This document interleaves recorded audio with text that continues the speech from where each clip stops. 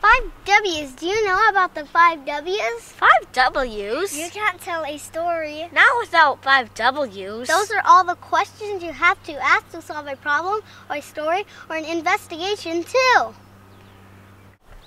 What, what, what? A story needs a what? like a birthday party. Or the fish you caught. The what is what the story is about, the plot.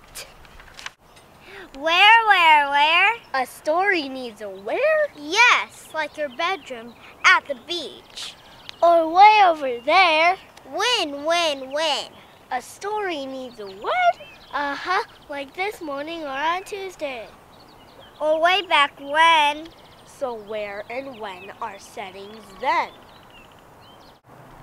Why, why, why? A story needs a eh, why. Like because you missed the bus. or because they want you to fly. Oh, five W's, five W's. You can't tell a story not without five W's.